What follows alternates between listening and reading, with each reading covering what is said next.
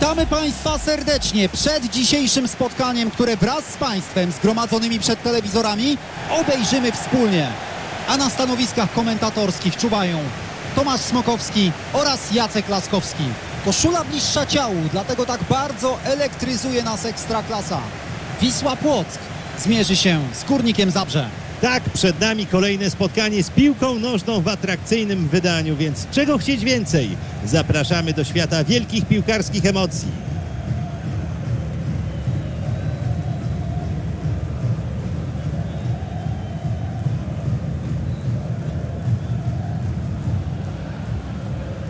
Teraz widzimy skład Wisły Płock na to spotkanie.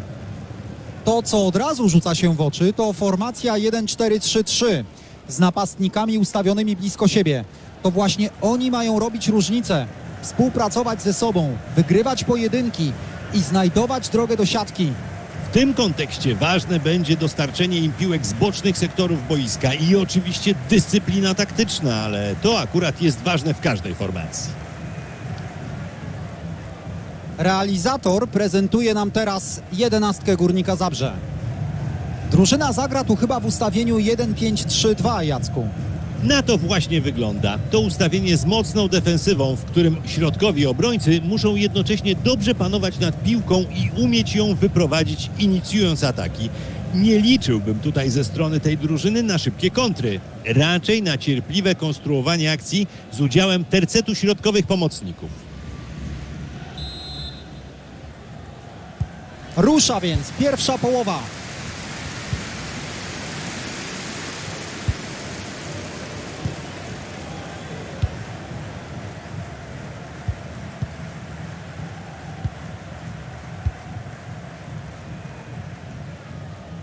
Poszedł odważnie do przodu, obrońcy jakby zaskoczeni. Nie, nie tak, źle to teraz wybija, wciąż może coś z tego być.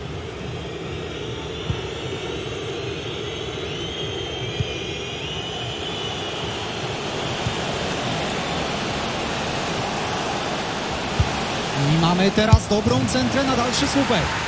Tak, bramka! Ależ teraz się złożył! Fantastyczne uderzenie! Proszę Państwa, musimy to zobaczyć raz jeszcze w powtórce. Warto obejrzeć sobie powtórkę gola, bo jest na co patrzeć. Dośrodkowanie w punkt, dokładnie tam, gdzie trzeba. No a potem był ten strzał z woleja. Idealnie podszedł pod piłkę i uderzył prostą nogą. No to mamy 1 do 0.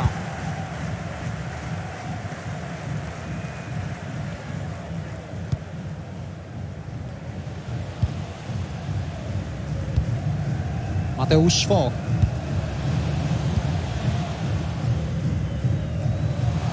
No i co teraz zrobi? Nie oddaje piłki, ale strzał zablokowany. Dobry odbiór. Przeciwnik trochę nonszalancko, ale brawa za starania. Łotczanie utrzymali się przy piłce, zatem mimo faulu mogą kontynuować akcję. Co teraz pokaże Rafał Wolski?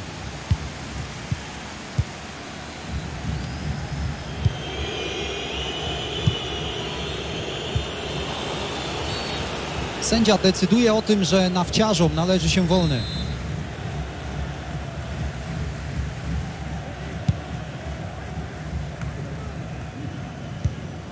Damian Rasak. Wziął na siebie teraz rozegranie tej akcji. Popatrzmy. Wybija, ale niedobrze. Przeciwnicy nadal mogą coś z tego zrobić.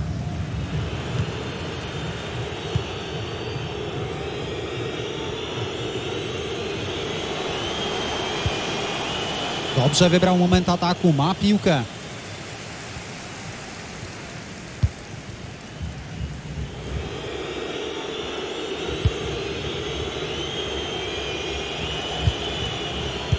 Wysoki pressing, ale zespół sam się o niego prosi.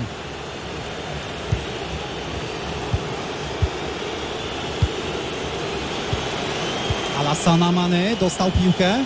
Dobra centra w szesnastkę. I co? Obrona wybija piłkę po tym dośrodkowaniu. Łatwo sobie poradził z tym uderzeniem, ale piłka szła prosto w niego.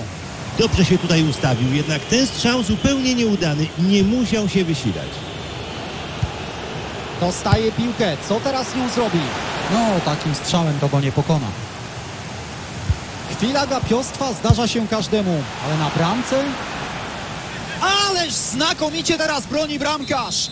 Pokazał klasę, uratował siebie i cały zespół. Rzeczywiście świetna robota. Po takiej interwencji może zacisnąć pięści i wznieść rękawice triumfalnie w górę. Bramkarz pewnie, łatwe miał zadanie.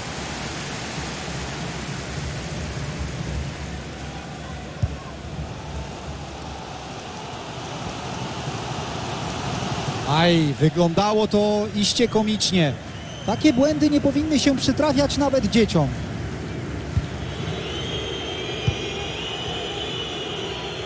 Erik Janża. Prostopadłe podanie, dobrze pomyślane. Bramkarz broni, zagrożenie nie minęło, trzeba wybić. Ależ upiekło się teraz drużynie z Płocka. Wciąż przegrywają, ale mogło być po zawodach. Trybuny wspierają swój zespół, jednak oczekują, że nie tylko one staną na wysokości zadania. Będzie bramka! Niezły strzał, ale bramkarz zachowuje koncentrację.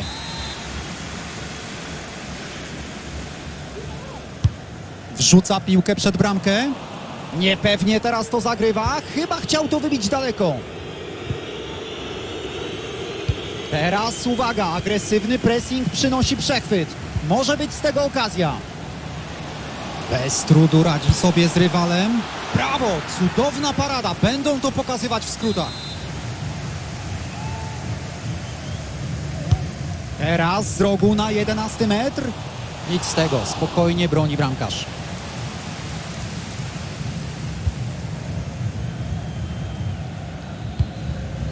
Jak widać po statystykach, drużyna gości niezbyt często jest przy piłce. Ale no właśnie, niby posiadanie piłki jest na niekorzyść, ale to przecież nie za takie rzeczy dostaje się punkty w ostatecznym rozrachunku.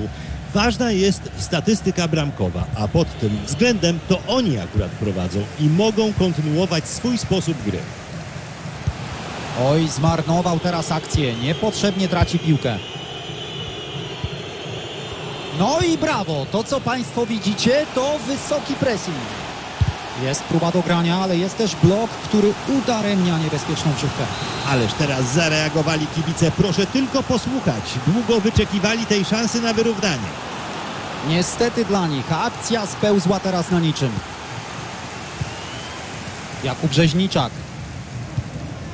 Mateusz Szwo. Groźny ten wślizgi, zupełnie nie w piłkę. Możemy tu zobaczyć czerwoną kartkę zaraz. Czerwona kartka, w pełni zasłużona zresztą trzeba dodać.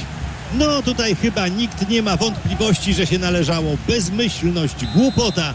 Takich przewinień wręcz nie wolno traktować ulgowo, bo to się mogło skończyć naprawdę bardzo poważną kontuzją. Próba strzału z dystansu. No, gdyby wykorzystał ten rzut wolny, byłby piękny gol. Niewiele zabrakło, aby się udało. Tak czy owak trzeba docenić pomysł. Podolski.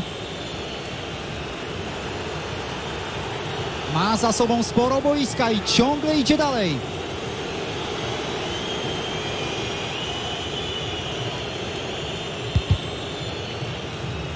Zabrzanie wznowią wrzutem z autu.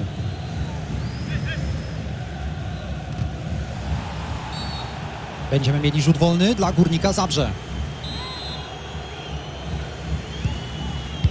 Szybkie podanie z rzutu wolnego do kolegi obok. Zrywają się do kontry. Jaki wybiorą wariant?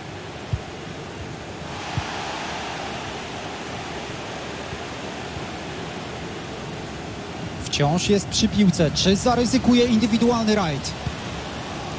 Nie rezygnują z doprowadzenia do remisu, to jasne. Ale szanują piłkę, rozważnie konstruują akcję.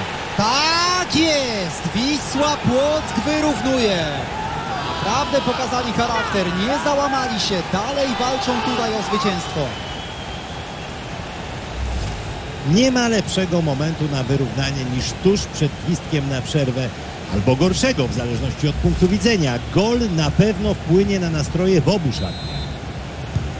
Wyrównali więc stan spotkania 1 do 1. A teraz czas na przerwę. Arbiter zakończył pierwszą połowę.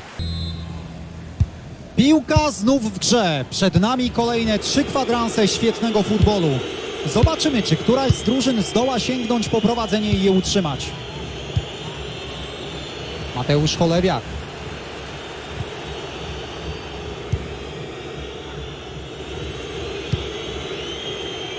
Bramkarz dostaje piłkę.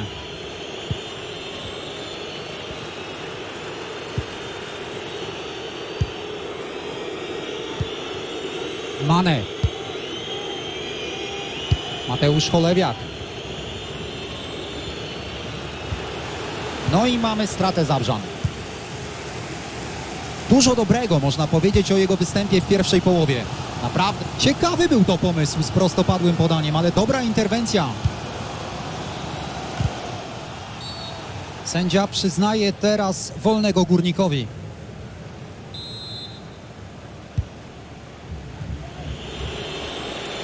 Utrzymuje się przy piłce, przy bierności rywali. Ale strata piłki oznacza, że niepotrzebnie robiliśmy sobie nadzieję. Będziemy mieli rzut wolny dla górnika Zabrze.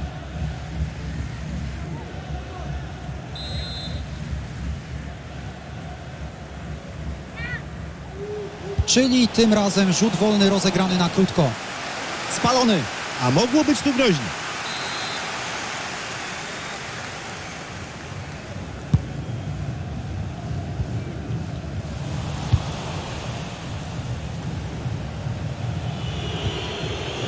Teraz dobre zagranie. Czy potrafią to wykorzystać?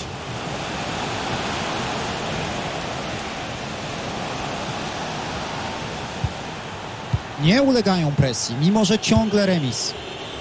Alassana Mane dostał piłkę. No i proszę, całkiem niezły strzał. Ale to chyba nie mogło zaskoczyć tego bramkarza Jacku. No tak, wyciągnął się podręcznikowo, wyglądał przy tym bardzo pewnie, zresztą nie tylko podczas tej interwencji. Dogrywa piłkę na bliższy słupek. Niemożliwe gol! Tego rywale się nie spodziewali. Patrzą na siebie z niedowierzaniem obrońcy, bo to przecież zespół grający w osłabieniu prowadzi. Widzimy teraz dokładnie jak to wyglądało. Najpierw rozegrali to krótko, potem świetnie podawał. Ładne złożenie się do strzału, instruktażowa główka, tu po prostu musiała być bramka. Aktualny wynik to 2 do 1. No nie, nie, takimi wślizgami wchodzić nie można. Tu powinna być żółta kartka. Zresztą zaraz się okaże. Sędzia pokazuje żółtą kartkę, ale mogło być gorzej. A na kolejne osłabienie ich po prostu nie stać. To poważne ostrzeżenie. Musi teraz uważać, by nie skrzywdzić swojej ekipy, dając się sprowokować. Łotczanie utrzymali się przy piłce, zatem mimo faulu mogą kontynuować akcję. Szansa przed Wolskim. Pudło teraz! Mógł zrobić z piłką co chciał. I postanowił to wykorzystać w najgorszy możliwy sposób, to znaczy nie wykorzystać. Wracamy teraz do sytuacji sprzed chwili. Sędzia pokazuje żółtą kartkę za faul, przy którym zastosowana została wcześniej korzyść. Dobra decyzja, szczególnie dla kibiców, którzy nie lubią ciągłego przerywania gry. No i Górnik Zabrze coraz bliżej bramki rywala. Cóż, zapowiadało się naprawdę nieźle, ale to już jest nieaktualne. Piłkę mają rywale.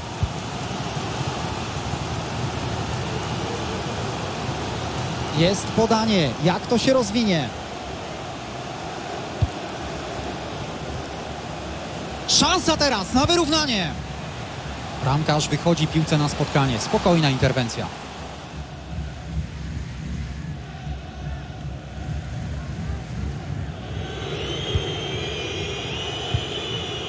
Piłka przejęta.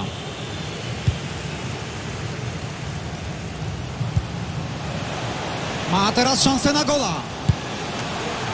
Dobra interwencja, ale zagrożenie jeszcze nie minęło. Obiecujący, groźny atak, ale jeszcze lepsza interwencja. Przytomne zachowanie w obronie. Bardzo dobra akcja w ataku, ale jeszcze lepsza interwencja obrony.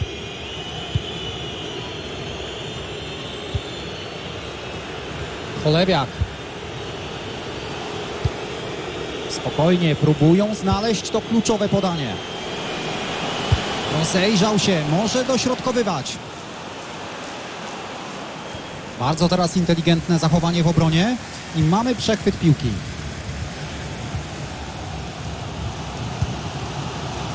Jakub Rzeźniczak. Przed nami ostatni kwadrans tego spotkania. Dobra akcja, obrona może być w opałach. Wolski może uderzać. Mało zaskakujący to był strzał. Mogło tu być groźniej. Dobre ustawienie zrobiło swoje i umożliwiło tak pewną interwencję.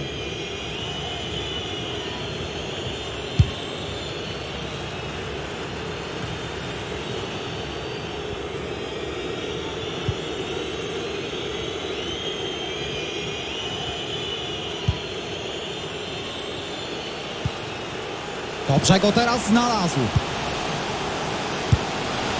Tak! Mamy bramkę! No naprawdę, ten wolej zasługuje na brawa. Widzimy świetną centrę, która otworzyła drogę do bramki. A z takiego bliska to nawet my byśmy chyba trafili, Tomku. Pewne wykończenie i zero szans na obronę. Na tablicy wyników 3 do 1.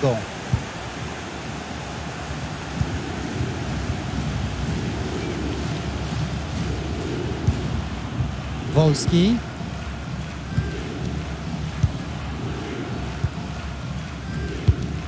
Mateusz Szwo. Rafał Wolski.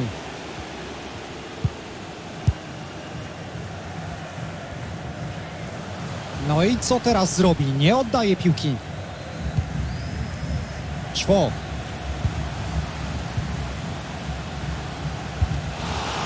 Ależ to była niebezpieczna sytuacja.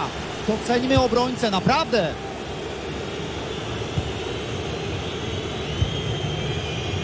Kryszkiewicz. Mateusz Cholewiak.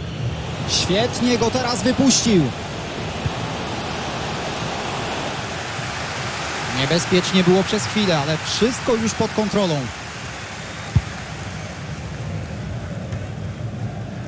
Do końca meczu już tylko minuta plus to, co doliczy sędzia. Dobra, teraz szansa na centrę. Odebrał tę piłkę jak na treningu.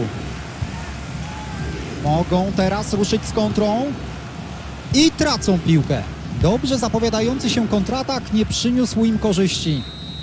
I to już koniec. Drużyna gości może cieszyć się z wygranej.